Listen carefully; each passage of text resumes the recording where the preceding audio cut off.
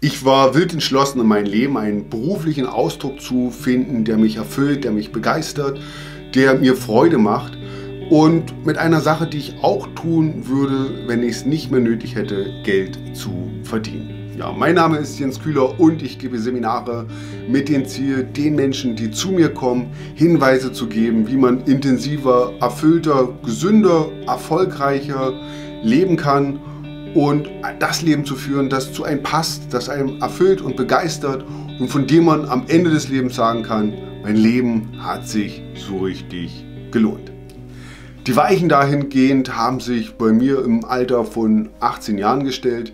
Ich war zu dieser Zeit Soldat im Auslandseinsatz und ich habe Menschen gesehen, die alles verloren hatten, die in Ruin gelebt haben, die sich darüber gefreut haben, eine Wasserflasche zu bekommen oder eine Fischbüchse. Ich habe in dieser Zeit gelernt, dass relativ wenig dafür notwendig ist, wirklich glücklich zu sein, dass weder viel Geld, Besitz oder Ruhm dafür notwendig ist. Habe aber auch gelernt, was es heißt, Todesangst zu haben, in unbeständigen Situationen irgendwie einen klaren Kopf zu behalten und äh, für sich herauszufinden, was wirklich zählt.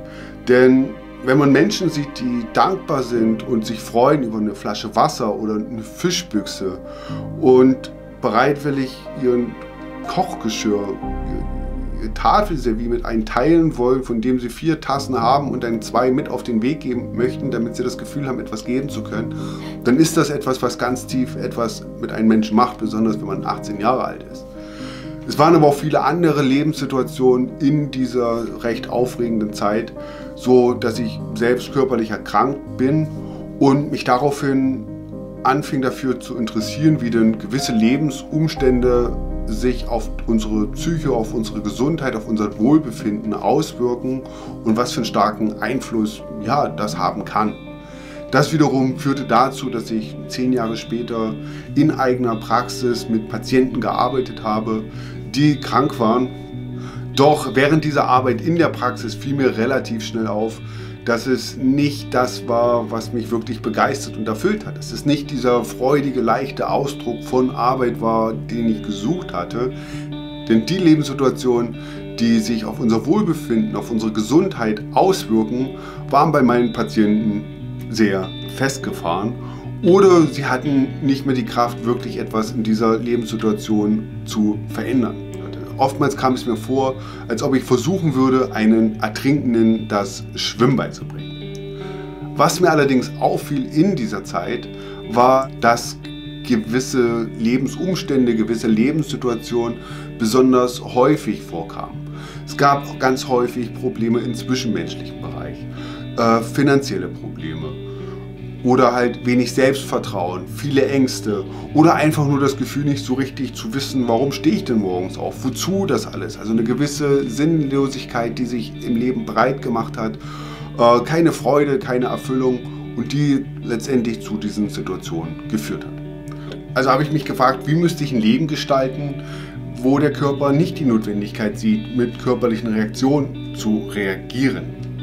Und ich habe mich auf die Suche gemacht. Ich habe nach Menschen geschaut, die diese Bereiche für sich gemeistert haben, die finanziell gut dastehen, die voller Vitalität und Lebensfreude strotzen, die etwas gefunden haben, das sie erfüllt, das sie begeistert, das sie mit Freude machen und dadurch sogar noch ihr Lebensunterhalt verdienen können und meistens sogar weitaus mehr, als sie tatsächlich benötigt haben.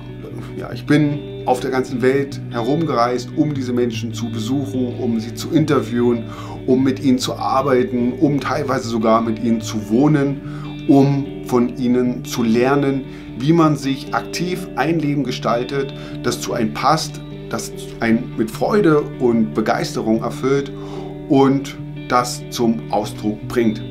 Und das Ganze fließt in meine Seminare, in meine Kurse, in meinen Trainings ein, was ich von diesen Menschen gelernt habe, was ich auf meinen vielen Reisen um die Welt gelernt habe, was ich in meinen verschiedensten Berufen gelernt habe, in denen ich gearbeitet habe. Ich habe im Rettungsdienst bei der Feuerwehr gearbeitet. Ich habe am Notruftelefon gearbeitet.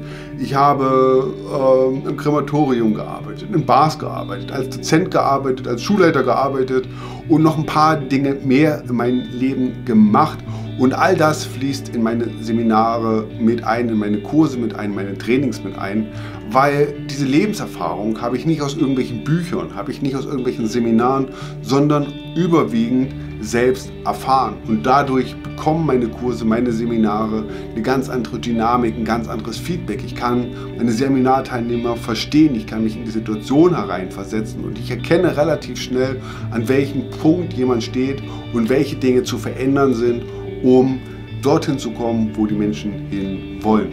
Ja, das ist meine Arbeit, die ich heute für mich sehe, die mich erfüllt und begeistert. Und das Gleiche wünsche ich mir auch für meine Seminarteilnehmer. Und dafür setze ich mich mit meiner ganzen Kraft, mit meinem ganzen Können, mit meinem ganzen Wissen ein, um meinen Seminarteilnehmern auch dieses Leben zu ermöglichen.